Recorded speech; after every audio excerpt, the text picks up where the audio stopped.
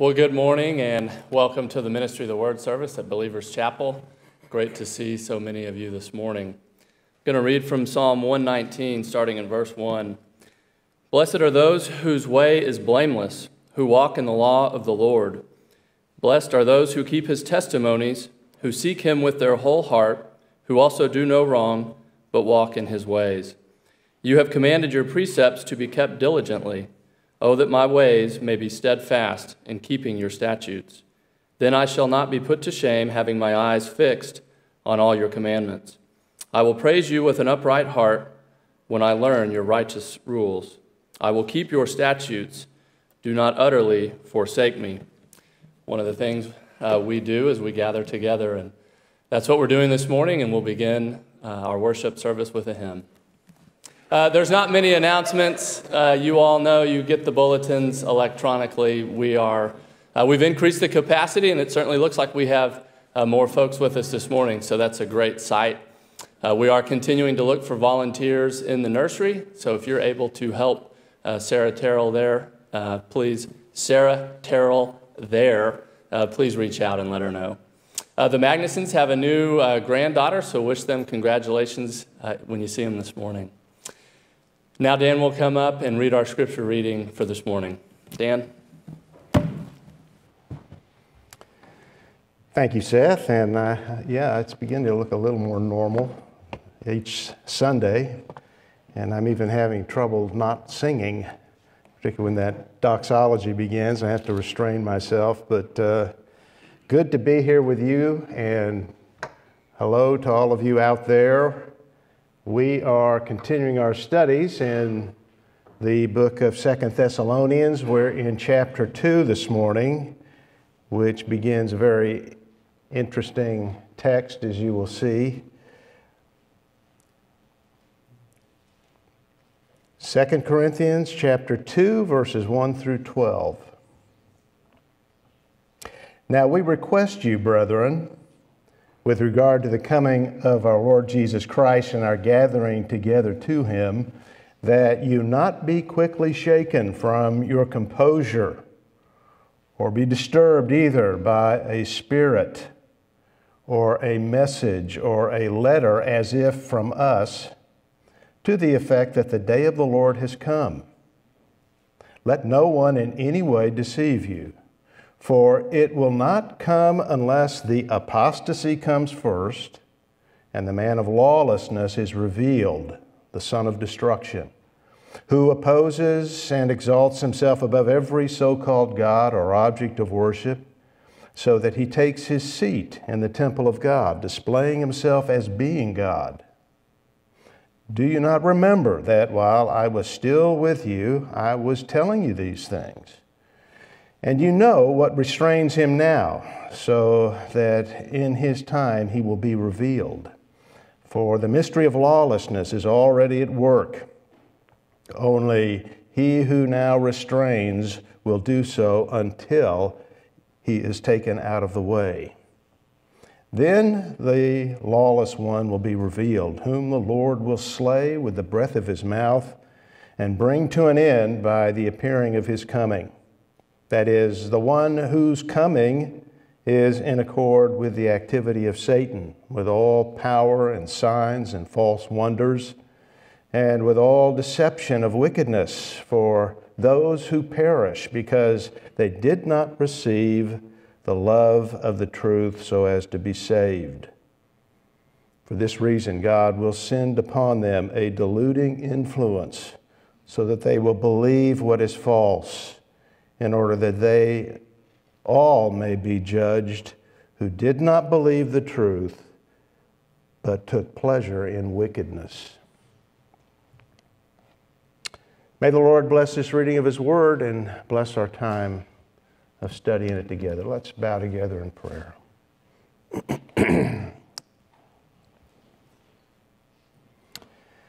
Heavenly Father, it is a, a blessing to be able to gather again with your people and to do what we are doing in this hour, reading the scriptures, your holy word together, and then spending time considering the meaning of this text. It's a blessing, whatever text we look at, because it's all your word. It is inerrant, it is authoritative, it is what gives us guidance in life, it's what gives us encouragement, it's the solid foundation of our lives. It's so essential that we come together and we study your word. It's important that we do this routinely in our lives, daily, weekly that we study your word, that we read it, we ponder it. But it is an instruction of Scripture that we come together and not forsake gathering together. And so it's a blessing to be here, and a blessing that we can do this in a virtual way through this live feed.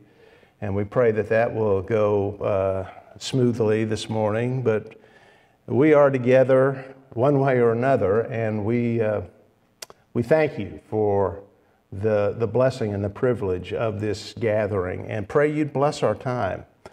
It is a time to be instructed, and it is a time to be instructed fundamentally by the Holy Spirit. So we pray that His ministry will go unhindered in, in our hearts and minds, and that He will guide us and enlighten us and, and give us an understanding of the things that we've read. And in this particular text, they are interesting to say the least. It is a fascinating passage of Scripture that Paul gave to the Thessalonians, and it is for us as well. And so I pray that we will gain the lessons and you will apply the lessons of this text to us so that we are encouraged in this day and age in which we live and we, we are uh, equipped for it to live wisely and well as witnesses for you and lights in the midst of the world. So, Lord, bless us and build us up in the faith. And we prayed not only for our spiritual condition and needs, but for our material needs as well. We live in a time of, uh, of difficulty. The pandemic is upon us, and we're adjusting to it. And we can't help but live with a little bit of anxiety. The thought that we might contract this, this virus, but uh, we live and move and exist in you. And we need to realize that and remember that to be wise about our behavior and yet bold in, in certain respects and certainly live with confidence, trusting in you. And so we ask you, Lord, to bless us. We do live and move and exist in you and pray that as you give us every breath of life, as we are told throughout the scriptures, that it would be healthy and that you would keep us healthy. And we pray, though, for the, some of those who are particularly vulnerable at this time to this virus, that you'd protect them. Madeline and Audrey and Betty and uh, Margaret, and others, Lord, whose names haven't been mentioned, but you know our condition, you know our needs, and we pray that you keep us all safe. And we pray that you bless us in this hour. We, we do want to pray for our government and our leaders as they make decisions, that they'd make wise decisions, and that you would bless us and remove this uh, pandemic. But even in the midst of it, Lord, we pray that you would bring great blessing, perhaps revival, as people realize how fragile things are and how foolish self confidence can be when it's not grounded in you. May you use this in some way to bring light to our nation. Well, we know that's your work make us available to do that and eager to do it and wise to do it. Make us wise through our time of study this morning. We commit it to you and pray your rich blessing upon us. Thank you for Christ. We thank you for his death. Bless this hour. Bless the time to come at the end when we celebrate the Lord's Supper. And we pray that all will be done to your honor and glory. And we pray these things in Christ's name. Amen.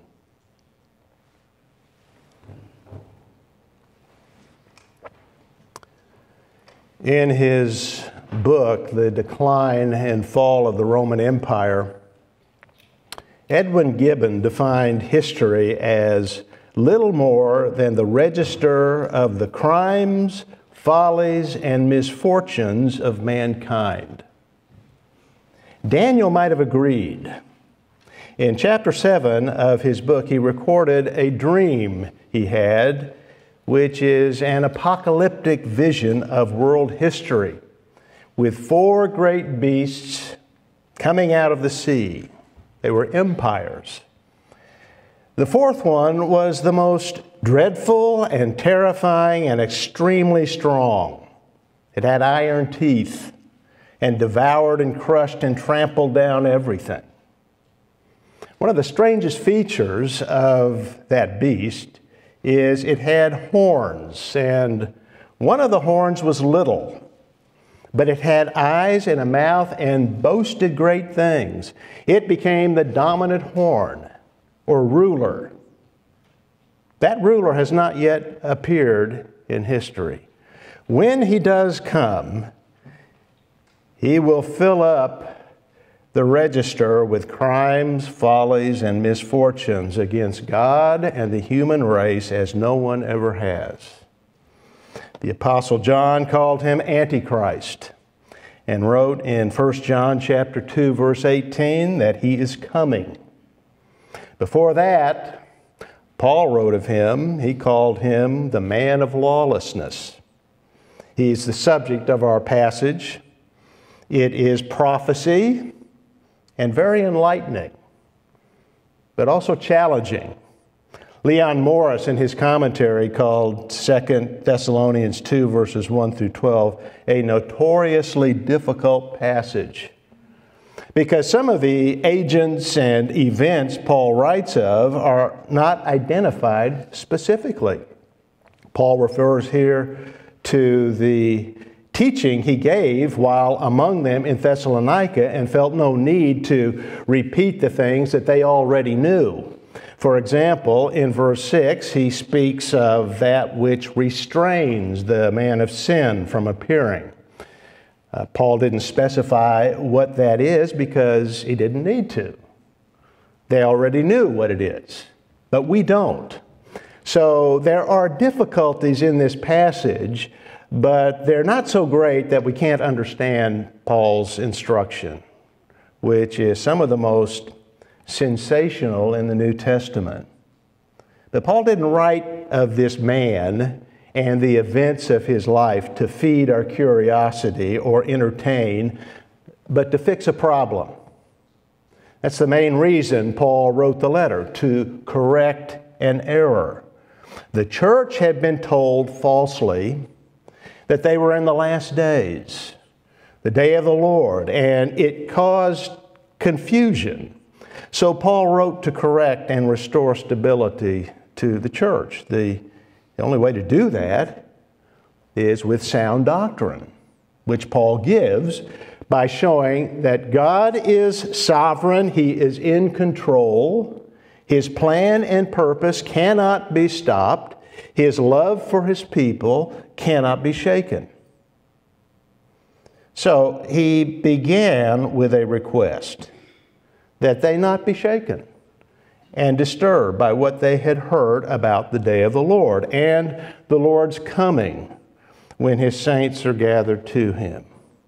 The coming, Paul refers to, could be the rapture of the church he wrote of that in 1 Thessalonians 4, verse 17.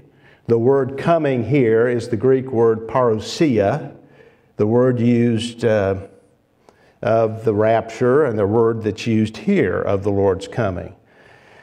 But that word is also frequently used of the second coming, used of the rapture, as I said, but used also of the second coming, which occurs later at the end of the Great Tribulation. Now, that's the subject here in this book. It's the subject clearly in chapter 1 when the Lord returns with divine vengeance against the ungodly, vindicates his saints, and establishes his kingdom in righteousness on the earth. So, some argue that this is when the rapture occurs, at the end of the tribulation at the second coming rather than before the tribulation because both comings are called a parousia, so it's argued it must be the same event. But that word is used of different comings. We see that here in our passage. In verse 8, it's used of Christ's coming. In verse 9, it's used of the Antichrist's coming. Very different comings. In 1 Corinthians chapter 16 verse 17, it's used of Paul's colleagues, Stephanas and Fortunatus, coming to him. So it can be used of different comings, and the rapture is a different coming. Here it is of the Lord's second coming at the end of the tribulation. But according to verse 2, the Thessalonians had been told they were already in that, in the day of the Lord, the uh, terrifying day of judgment, the persecution they were undergoing. And remember, Paul has written to them at a time of great persecution and suffering for that church. That persecution must have seemed to them to support that idea, that, uh, that message that they had been given. So they were confused, as you can imagine they would be. Paul told them in 1 Thessalonians 5 9 that they had not been destined for that, not destined for that day. He told them of the rapture of the church, but that had not happened. And all of Paul's teaching had been contradicted by what seemed to them an authoritative source. Paul refers to it in different ways. He refers to it as a spirit. Well, maybe that's uh, uh to be understood as a false prophet or a teacher had spoken to them, or he speaks of a letter said to have been from him, from them. So they received this letter that supposedly was written in the authority of the apostle. So they naturally thought it was true, and they naturally thought, as a result, they were in the final days, that they had begun, and that the end was near. It completely unsettled them, as Paul describes here with the words shaken and disturbed, which uh, gives the picture, because it's used in this way, of a ship. And it gives the picture of a boat or a ship hit by a wind and driven from its moorings, its anchorage, and set adrift. And so that was the church in Thessalonica, set adrift, as it were. So Paul needed to steady them. He wasn't sure what the source of the disturbing message was, but he assured them it wasn't from him and it wasn't true. They weren't in the final days, the end was not nigh. He begins verse 3 with a strong statement Let no one in any way deceive you. Then explains that a, a certain event must happen, and a certain man must appear for the day of the Lord to begin and the second coming to occur. Paul had, had told them all of this and more when he was with them in Thessalonica. In fact, in verse 5, he corrects them with, with, with that fact. Uh, do you not remember? He said that they should have remembered some things that he had taught them, and and they hadn't. They hadn't applied that teaching to the, uh, the letter or the message they had received. Now, that's the first defense against error. We are all going to confront error in our life. And that is the first defense against error remembering what has been taught, recalling the truth of Scripture. Deception is always clever. If it's effective deception, it is. Holding on to the apostles' instruction is the only remedy. Holding on to the, the scriptures, the Word of God, is the only remedy. The Thessalonians bore some responsibility for the confusion, and the apostle corrects them here. Gently, he does, but firmly. He had told them, evidently in some detail, about these two signs that he refers to. The first is an event, apostasy, which has the idea of abandoning or turning from someone. It has been translated as rebellion. It is spiritual revolt, turning from the Lord, rejecting the gospel. It is unbelief in a person who had at one time confessed belief. So it's not, apostasy doesn't occur among other religions. The, Muslims aren't apostate. It comes out of a profession of, of Christian truth, of, of confessing Christ, and then rejecting that, which shows that they had never really believed at all. They'd never truly trusted in Christ. One great example of that is Judas, a man who walked with the Lord for three, three and a half years, was very uh, trusted by the apostles, so trusted that they entrusted him with their money. He was the treasurer, and not knowing, as John tells us, that he was pilfering from the, the treasury, stealing all the time. Judas proved at the end of his life that he was no true believer at all. He was apostate. It's not uncommon, but this is unusual. This has the definite article. It is the apostasy. So it is a worldwide rejection of the Lord, maybe from Christendom, which gives lip service to Christ, but then will stop even that. It's been translated the Great Revolt. It is unprecedented. As violent as things were in Paul's day and as secular and unbelieving as they are in our day, that has not happened yet. It will be the first sign of the, the coming day of the Lord. The second, and probably connected with the apostasy, is the appearance of a lawless rebel, a tyrant. John called him the Antichrist. Paul calls him the man of lawlessness. Lawlessness is refusal to conform to or obey God's law. It is spiritual rebellion, the refusal to be ruled by God. All sin is lawlessness. John tells us that in, in 1 John 3, verse 4. That's how he defines sin. Sin is lawlessness. And that is what will characterize this man. He will be the final and the supreme embodiment of evil. He will be a very significant figure, a person prophesied by Daniel. So lots of attempts have been made to identify this figure down through history. Nero is one of those people have identified as the Antichrist, or some other Roman emperor, Domitian, for example. And there are similarities. The Roman emperors were not only political ty- and tyrants, they were religious men. They, from the time of Augustus on, they required worship from their subjects and persuaded uh, those to do so by the threat of persecution if they didn't. But those emperors have come and gone.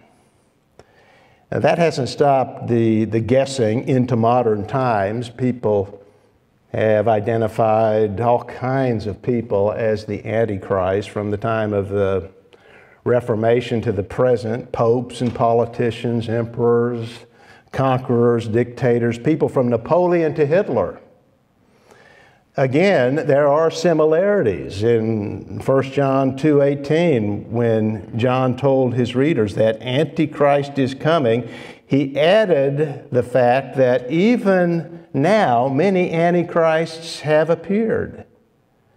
And in, a fallen world, we shouldn't be surprised by that. From the beginning, from Lamech in Genesis 4 and the giants of Genesis 6 to Nimrod, the mighty hunter and empire builder in Genesis 10. There have been antichrists, there have been tyrants with a cult following who set out to build a lasting kingdom to the glory of man. Now, that's the nature of things in a, a fallen world. Men oppose God. They are in open rebellion against Him because they want autonomy, which means they want self rule. They want their lives to be guided by themselves and no one else. Now, that is every unbeliever in the world. So we will always be able to recognize the characteristic of Antichrist in people, especially in powerful people. It's characterized by that by this rebellion, by this self assertion, by this self aggrandizement. But guessing his identity is both wrong and futile. Now, that's clear from Paul's statement. He, he said of this man that he must be revealed. He hadn't been revealed in Paul's day, he hasn't been revealed in our day. He is a still future person and will come just before the Lord's second coming. He will be revealed suggesting that he will be in the world hidden when suddenly he appears. He is revealed. And that word is used in chapter 1, verse 7 of Christ's coming from heaven. It will be sudden, it will be something that isn't anticipated necessarily. He will be revealed with his angels.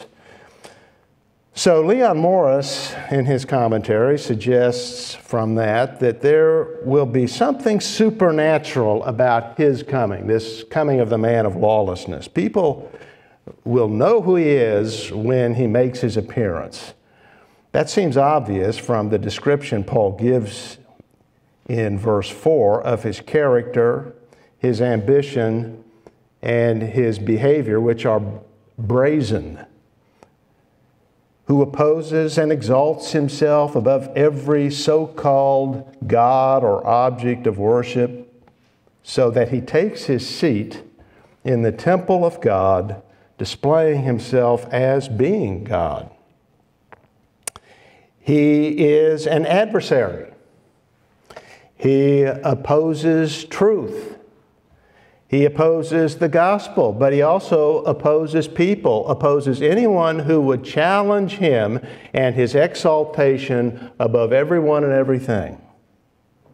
He puts himself in the highest place. Now, that is the essence of the natural man self centered, driven by selfish ambition we're, we're studying eschatology, but in this study, in this passage, we learn a lot about anthropology. We learn a lot about human nature in a fallen world. He's the epitome of it. So he is a man driven by self ambition. But, but while that is characteristic of all unbelieving people, this man goes beyond most. In fact, he will be unique he will demand worship and he will get it. He will take his seat in the temple of God. The act itself is intended to, display the only thing that it could mean, and that is, as Paul says, He is God. It is the ultimate act of blasphemy. In verse 5, Paul reminds the Thessalonians that he told them of these things, which is instructive, and I've made this point before, but it's worth making again. Because he was there, you'll remember, in Thessalonica only briefly, two, at the most three weeks, but he taught them on eschatology. He taught them on these very events. That indicates that these events are important. People today often dismiss prophecy as fanciful and impractical, sensational, oftentimes avoid teaching it. Well, this is sensational, fascinating, but not frivolous. It needs to be taught. Paul's example proves that. When he taught this, the temple in Jerusalem was standing. So there was no question to the, to the Thessalonians what Paul meant. This man will enter the Holy of Holies in the temple in Jerusalem and he'll sit down in that place. The place where the high priest could only go once a year, the place where God is uh, symbolically dwelling. But in AD 70, the temple was destroyed by the Romans. The Dome of the Rock has been standing in its place since the late 7th century, over uh, 1,300 years ago, It's 1,300 years now. It seems permanent. So modern commentators puzzle over what temple Paul meant. Uh, their, their ideas range from uh, reference to the church, that that's the temple that he's speaking of. This will happen within the, the professing church. Or perhaps this is simply a figurative way of expressing the opposition of this man.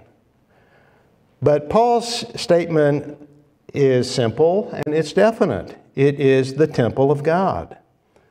Since there's no temple today, I don't think, at least, it's fanciful to assume that there will be uh, this, uh, there will be this temple that he refers to in that day, which would mean that there will be a temple rebuilt in Jerusalem.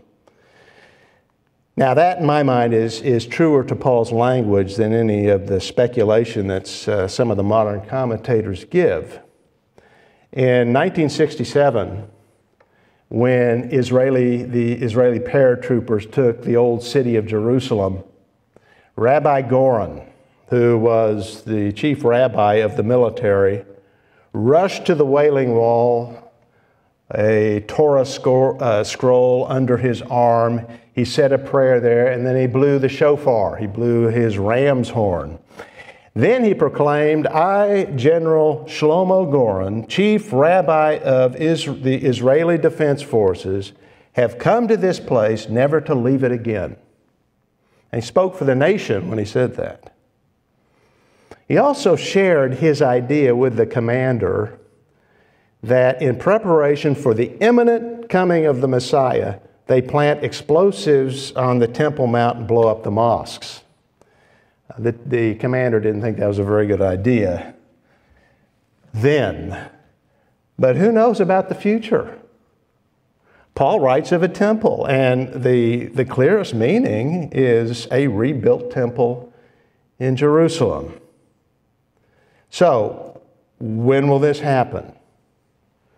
John said, Even now, many antichrists are in the world. Why is it then that after 2,000 years, the Antichrist, the man of lawlessness, hasn't come. Paul gives the reason in verse 6. He's being restrained. And Paul reminds them that they knew what this restrainer was. He had taught it to them. So they didn't, didn't need to have him identified again for them. They knew what it is.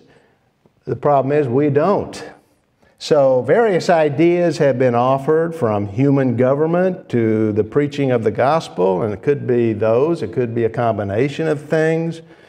But it, it seems to me the ultimate answer is the Holy Spirit.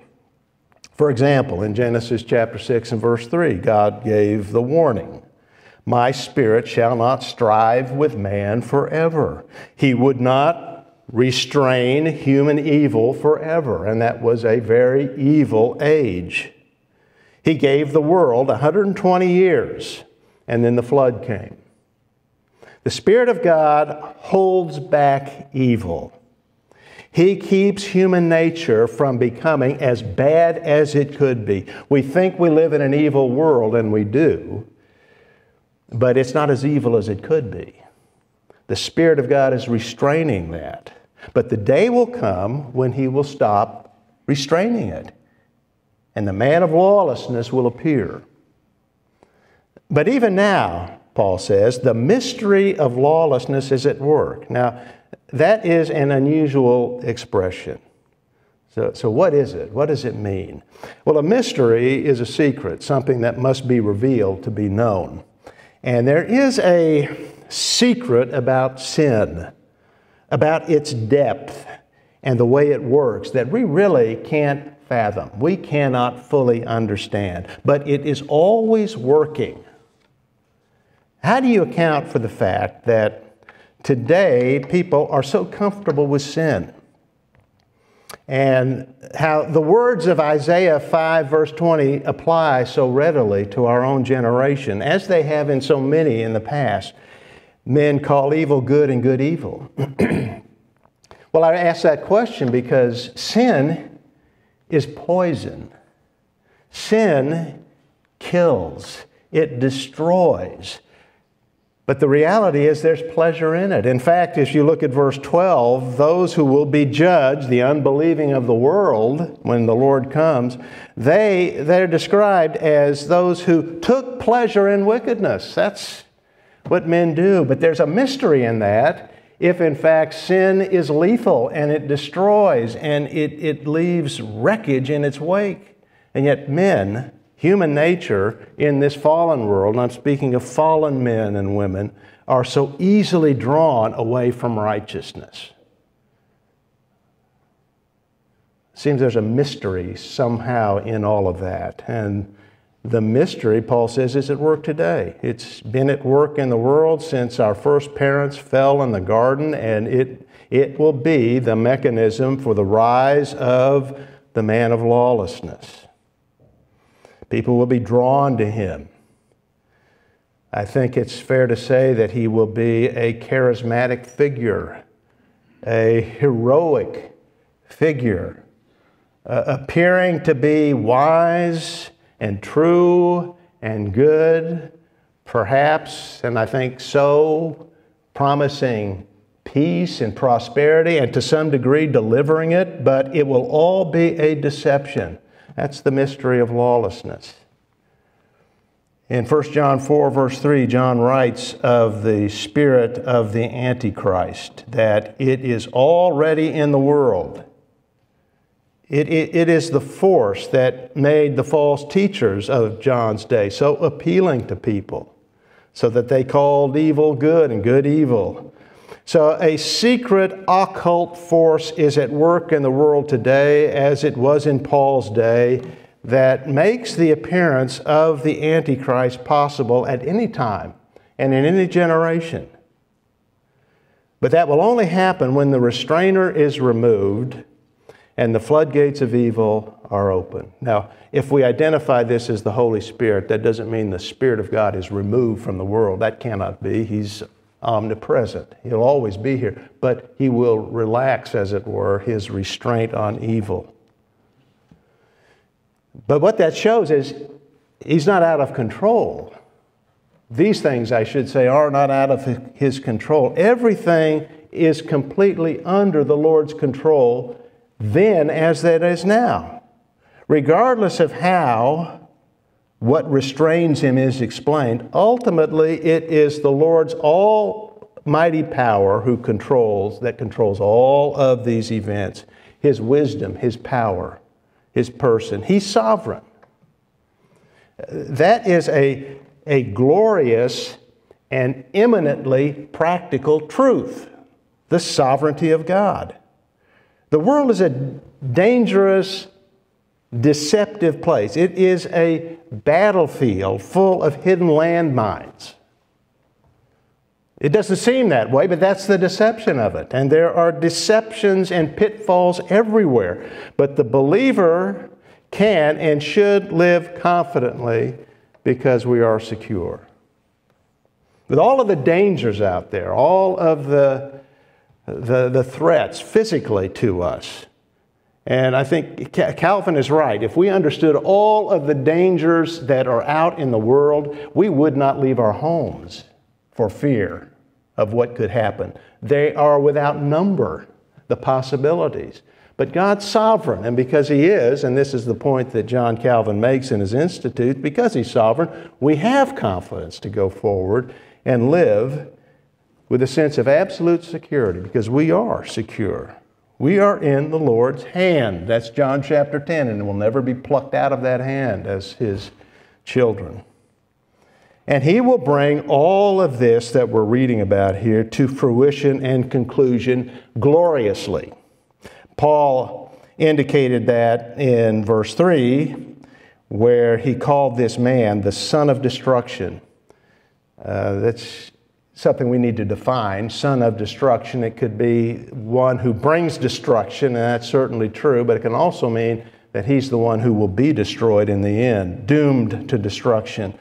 Paul describes that reality, that fact in verse 8.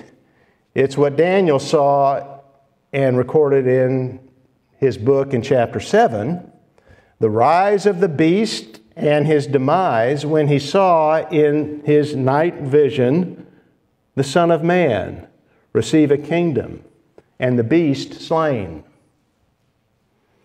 But that will not happen until his career unfolds and his tyrannical rule and blasphemous religion, his uh, self apotheosis, have run their course across the earth. There will be nothing normal about it. In fact, it will be paranormal, supernatural. In verse 9, Paul says that his coming will be in accord with the activity of Satan with all power and signs and false wonders. Now, all three of those words are used of Christ's miracles, not the word false, but the word the words powers, power, signs, and wonders. And I think Paul chose them for that reason. I think he chose them um, to make a point, and the point is to show the counterfeit ministry of Antichrist. He is Satan's Messiah. That's how he's going to appear. that's how he's going to be received by people as the one that's going to put it all together. So maybe there will be a collapse of government, and that is part of the restraint and somehow. And there'll be chaos, and that will be the occasion for this man to arise and put it all together. He is Satan's Messiah, but he's a caricature of that. A man with great power, though, Satan's energy will enable him to, to do his signs and wonders in order to accredit him as worthy of worship and following. But they're false wonders intended to deceive.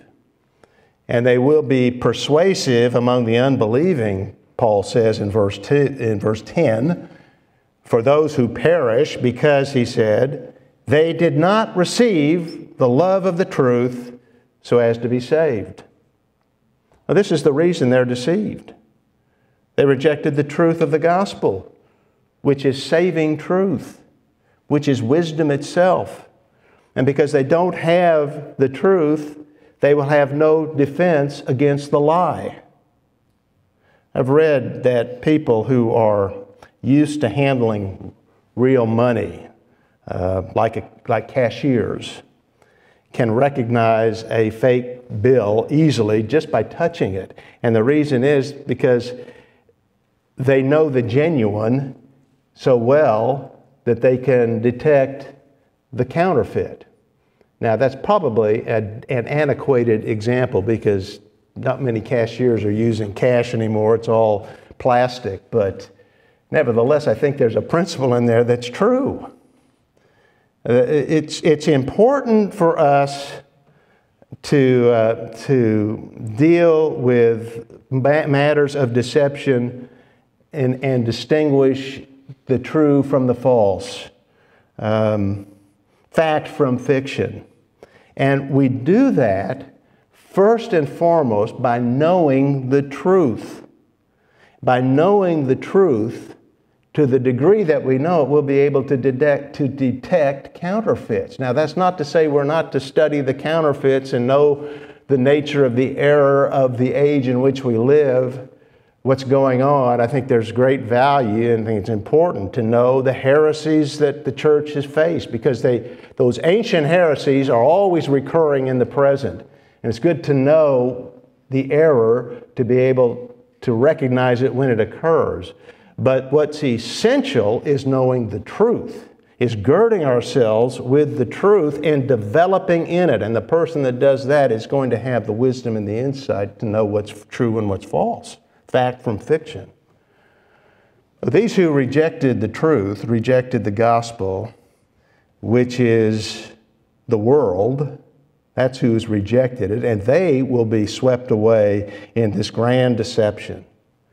They will worship the Antichrist. And worst of all, they will perish eternally.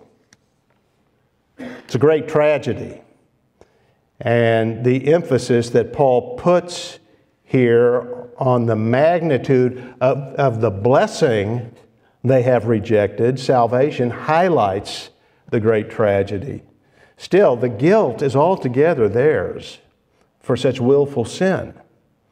In fact, their deception was the penalty of their unbelief.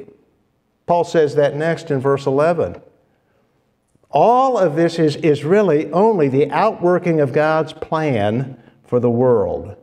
And Satan is an unwitting participant in it.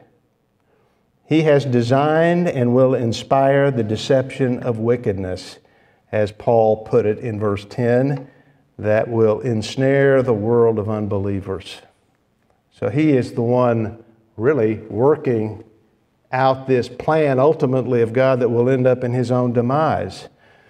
And so we read in verse 11 that he says that Paul says that Paul that, that God will send upon them a deluding influence so that they will believe what is false. That is the just penalty for willfully rejecting the truth. They will believe the lie. It again shows the overruling control of God in the affairs of men. He's not, he's not a mere passive observer who steps in occasionally to change the course of events. He's in complete control. And again, the Lord's action is just. Paul begins the verse saying, It is for this reason, referring to the rejection of the truth. For the reason that they rejected the truth, in other words, that's why this deluding influence will come upon them. It is all according to God's justice. It's not some whim or some uh, caprice that God is, is engaging in. He's acting according to justice. They will rebel, they will assert their authority, their independence, and their very rebellion will be the means of their punishment. God will give them over to it.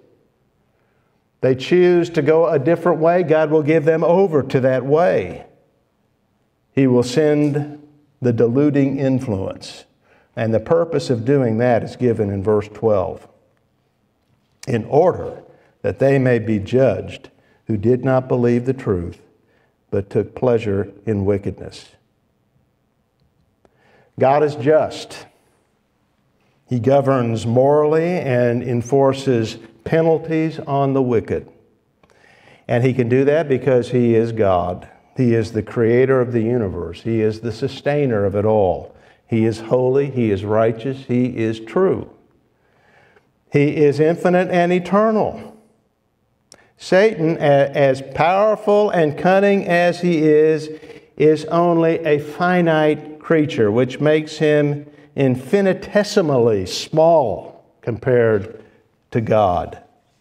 Luther called Satan God's ape, which means he only imitates God and his imitations of the Godhead always fail in the end. And that should encourage us. It was intended to, to encourage the Thessalonians who were suffering persecutions and afflictions, as you said back in chapter 1 and verse 4. They were not in the day of the Lord. The necessary events had not yet happened.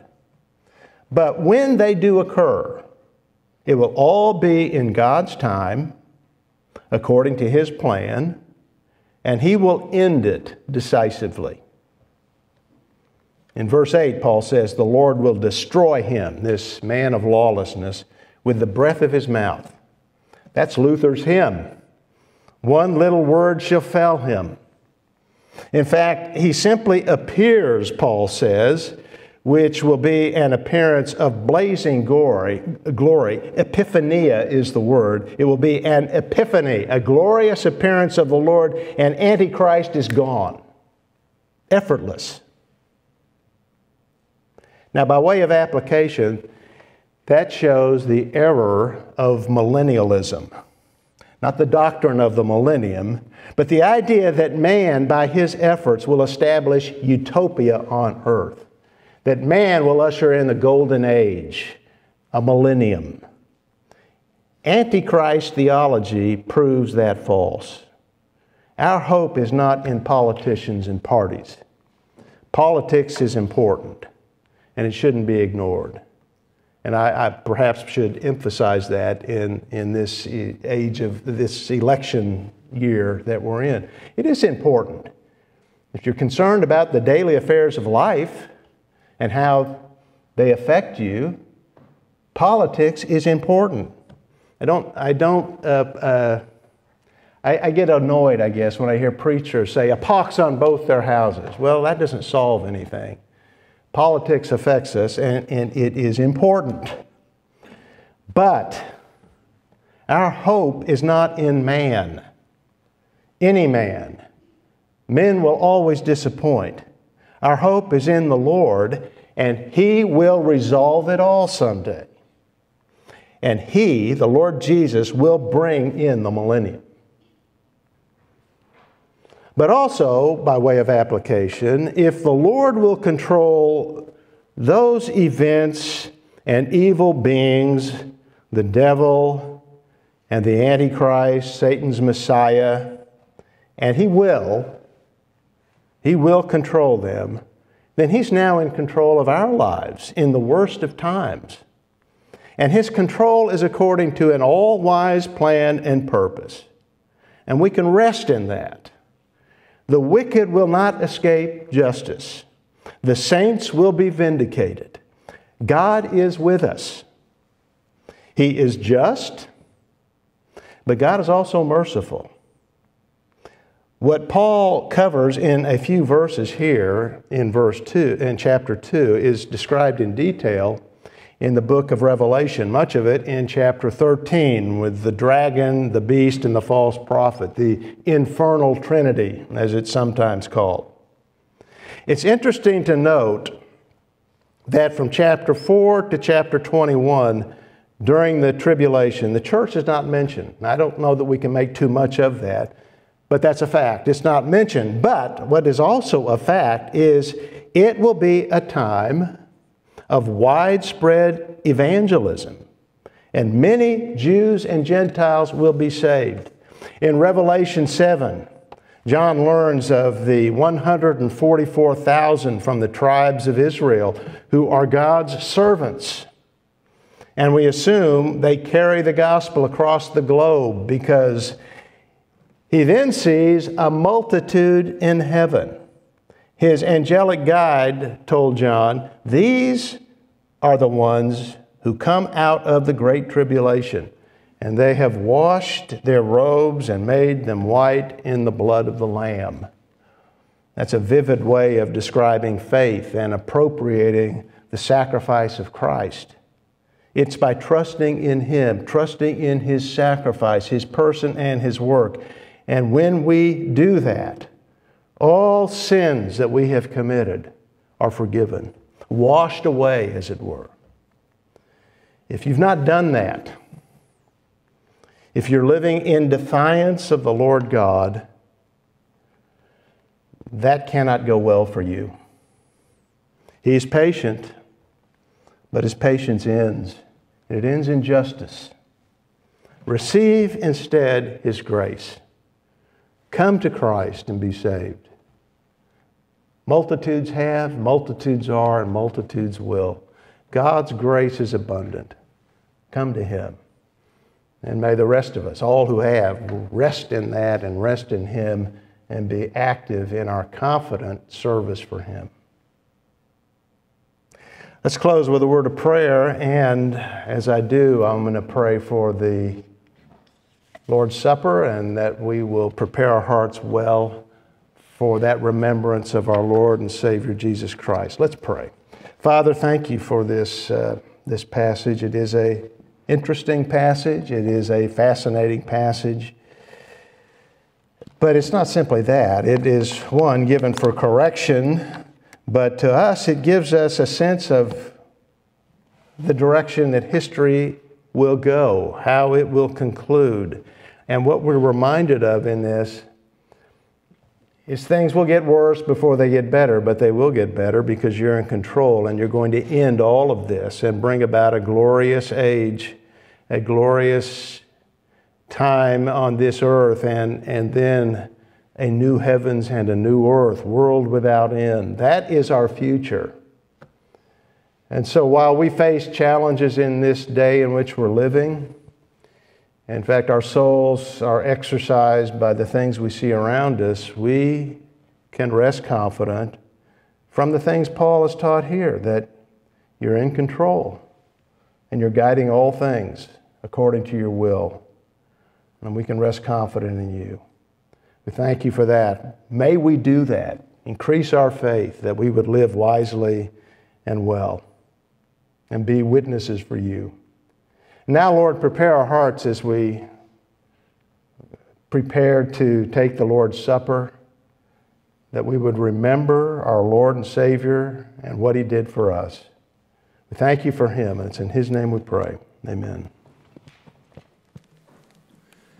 If you've been at Believers Chapel for any length of time at all, or for that matter, if you've read the Bible much at all, you know that the salvation we celebrate in the Lord's Supper is the free gift of God. We have not earned it, uh, we have only received it by God's grace. Our scripture passage this morning that Dan has just exposited for us contains that haunting phrase about those who perish. It's because they did not receive the love of the truth so as to be saved. If you're here this morning and you love the truth of the gospel, it is because the Lord has planted that in your heart and you have simply received it. And that's pictured somewhat in the way the Lord Jesus established his supper. He took the bread, remember, and he gave it to his disciples. He took the cup after supper and giving thanks, he gave it to them, saying, Drink from it, all of you, for this is my blood of the covenant, which is poured out for many for forgiveness of sins. And we're going to receive the bread and the cup uh, this morning uh, from our deacons. And uh, those who are live streaming, you're going to receive it in some other kind of a way. But all of us, in reality, are receiving it again this Lord's Day from the hand of the Lord. It is His gift to us, and as we partake, we are to remember that He gave Himself as a substitute for us so that we might have our sins forgiven by his sacrifice. He is the Savior. We are the recipients of his salvation. And so we invite this morning all who can say that they have received by faith the truth of the gospel and trusted in Christ so that you will not perish but be saved uh, to join with us now in remembering our great Savior in this way. Let me give thanks now for the bread. Father, we uh, have joyful hearts because of what we have just heard, certainly, uh, to be delivered from your righteous judgment as a free gift by the gift of your Son. And now, as we take this bread, we remember that the Lord Jesus uh, broke it, He gave it to His disciples, and He said, This is my body given for you. Do this in remembrance of me. And so, Father, we pray that by your grace we'd be enabled now to remember the sacrifice that our great God uh, undertook uh, to send your Son to earth, uh, for your Son to take on uh, human nature yet without sin, and then to be obedient unto death, the death on the cross. We thank you in His name. Amen. I'm reading from Hebrews chapter 9, verses 27 and 28.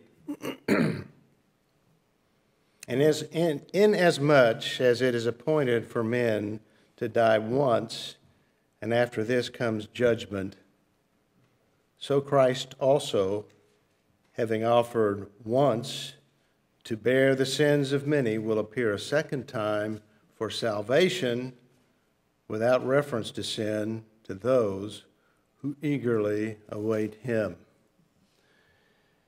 Man dies once, and Christ, the God man, died once. He doesn't go in and out of heaven to make continual sacrifices for each generation. That's not necessary. His sacrifice was once for all because it is all sufficient. It is infinite in its value and power.